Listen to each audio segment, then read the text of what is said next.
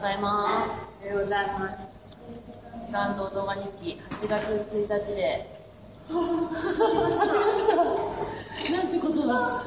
8月になってしまいましたけれども、昨日無事に桜の園の公演を終えました。みんなヘロヘロな朝です。最後の朝ごはんだね。あ、そうだね。最後の飛ばでの朝ごはんですね。えどうでした？みんな昨日やってみて。いや、美味しかった。楽しかった？です。しかったです。楽しかったよね。うんずっと、ずっと劇場って。ねえ。ちょっとしっとりしてる中。そうそうそう。鹿もいっぱい飛んでる中、うん。あったよね。まあ、ぶっちゃけ、あの、まあね、そんな全部のファン、全部のチーム見てないけど、まあ、うちが一番面白かったかな、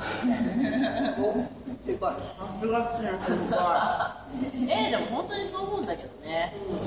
よく赤い上みたい。うん。こんな感じですね。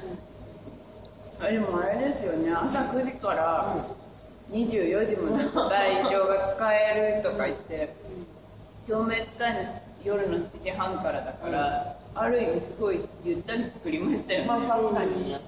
親入りして昼寝の時間があるってすごいなって思いました。確かに。朝もゆっくり体のことやったし、うん、ね。まあね、雨が降って稽古できないとかそういうのもあったけど。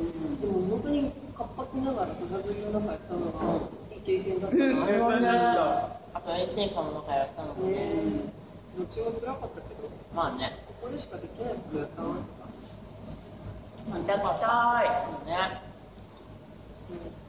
はい、そんなわけで我々は帰ります、これから。無事東京つけるといいね。い。うん。あれちゃん頑張ってね。じゃあね、また東京でね。巣鴨もあるよ。またお仕事もあるよ